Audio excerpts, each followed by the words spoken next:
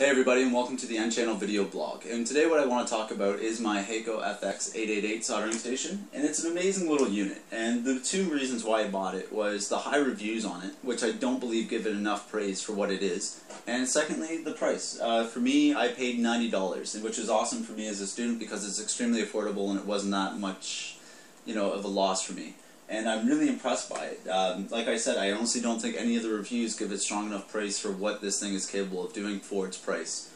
Now, some of the features that it comes with are, are pretty basic. It's just an on-off switch and a variable temperature output. And the ranges are 200 to 480 degrees Celsius and 400 to 900 degrees Fahrenheit. So it's a really nice diverse range which can do most of your soldering needs. I haven't run into any problems. I've you know wired, uh, soldered thick wires and stuff like that, as well as tiny leads, and it's always done well.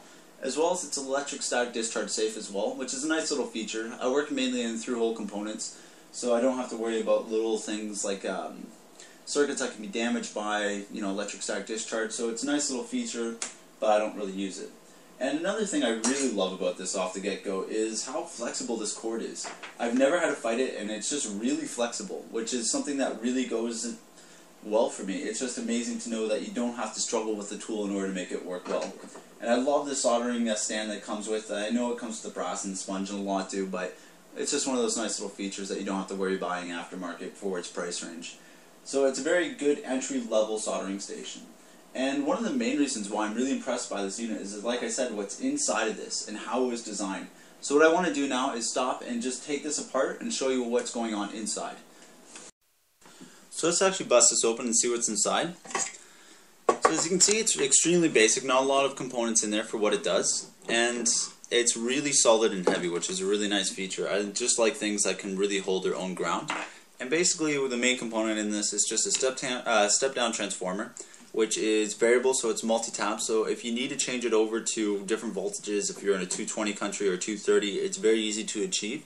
And everything's grounded on the chassis, which is a really nice feature. And they just did a really good job making sure everything was well connected. Uh, none of these joints are actually uh, anything to complain about. They're all extremely solid. Uh, right back here, you can see how well this is connected to the actual thing and you don't have to worry about being tugged away. And just like I said, everything is extremely well connected on this unit. And that's one of the reasons why I'm such a huge fan. This casting is just really sets it over the edge for me. Just how the rocker switch is actually embedded into it and all this, it's just really solidly designed. And it's just one of the most amazing soldering stations I've ever had to work with. And if you're just getting into the hobby, this might be a little bit overkill, but it's well worth the money because you probably won't need to upgrade anytime soon.